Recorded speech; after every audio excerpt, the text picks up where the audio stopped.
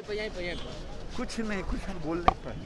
तेजस्वी यादव ने कहा है कि ऑपोजिशन को एक साथ आना चाहिए नहीं तो उन्हें इतिहास माफ़ नहीं करेगा।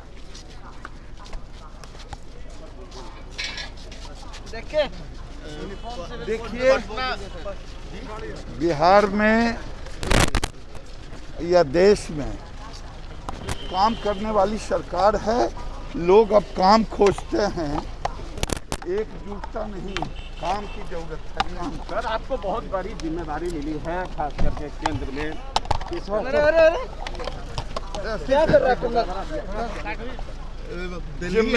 दिल्ली हाई कोर्ट ने कहा है कि अब समय आ गया है कि सिविल कोड को लागू किया जाए एक देश एक कानून को लागू किया जाए। सरकार अपना काम करेगी। सर बहुत बड़ी ज़िम्मेदारी मिली बहुत बड़ी। ज़िम्मेदारी मिली ज़िम्मेदारी कोई छोटा और बड़ा नहीं होता पहले भी ज़िम्मेदारी थी उसको भी